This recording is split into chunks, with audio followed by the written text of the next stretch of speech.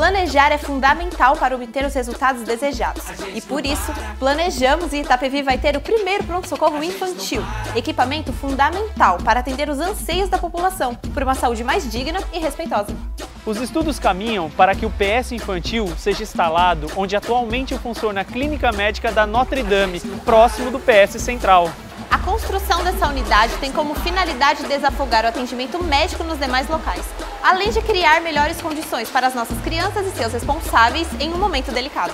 O projeto moderno prevê consultórios, área de espera, salas de raio-x, medicamentos de observação, além de acessibilidade total.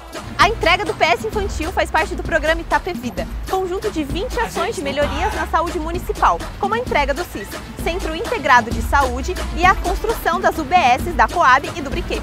A meta é entregar o equipamento à população em 2020 para unir as demais ações em andamento por uma saúde melhor para todos.